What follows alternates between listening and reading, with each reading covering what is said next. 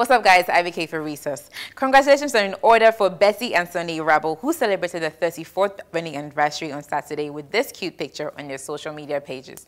Dammy Krane is set to appear in court on the 1st of August. The 25-year-old musician was arrested in the United States in July on credit card fraud and identity theft charges. The singer denies the charges against him.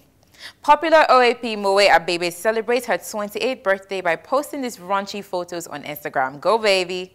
Obafemi Martins and his baby mama Abigail are expecting their second child. They've been dating for over four years and have a son together. Abigail shared. Former Minister of Aviation Femi Fani-Kayode has congratulated his wife, Precious, for winning the most influential beauty queen in Nigeria award at the recently held Experience Humanity Awards. Nigerian music producer Fliptyce gets married to his boo Halimo Bello Osagi. They got married over the weekend.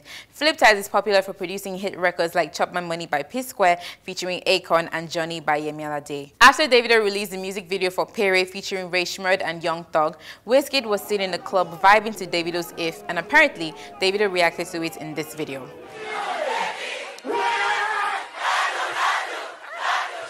It sure looks like the beef is over. Check out Kendrick Lamar's new video featuring Rihanna and Future featuring Nicki Minaj. That's all for now, guys. But for more research, subscribe to our YouTube channel.